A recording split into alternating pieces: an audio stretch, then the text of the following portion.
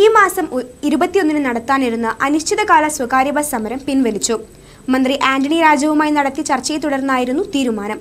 ഉന്നയിച്ച വിഷയങ്ങളിൽ തീരുമാനമായില്ലെന്ന് ബസ് ഉടമകൾ.